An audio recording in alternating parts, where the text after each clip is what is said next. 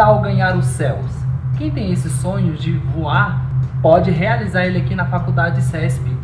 Hoje, no Plena Pauta Profissões, nós vamos falar sobre o curso de aviação civil e quem vai explicar um pouquinho para a gente hoje é o coordenador do curso, o professor Jorge Carmo.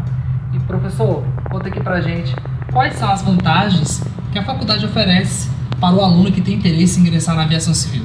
Bom, Alisson, primeiramente eu agradeço a oportunidade de estar falando do nosso curso e relacionado a essa pergunta que você acabou de me fazer sobre as vantagens para quem escolhe o nosso curso hoje, nós já escolhemos aqui um ambiente, né, que é o simulador de voo, onde nós nos encontramos agora.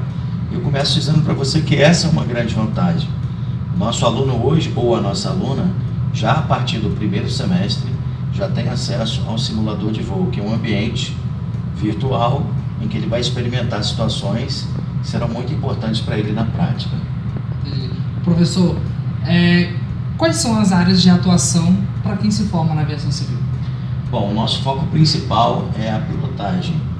Né? Então, nós temos um curso de dois anos e meio, um curto, curso de curta duração, mas além de visar a profissão piloto, nós temos também outras possibilidades, como por exemplo, agente aeroportuário, comissário de voo, mecânico e outras áreas também da aviação. Então a gente tem muito orgulho de dizer que agora o nosso curso está completando 17 anos, né, que a Faculdade de CESP é a única instituição aqui no Centro-Oeste que tem essa capacitação de pessoal para o mercado da aviação civil, não só como piloto, como eu falei, mas também para outras áreas. Ótimo, professor, muito obrigado.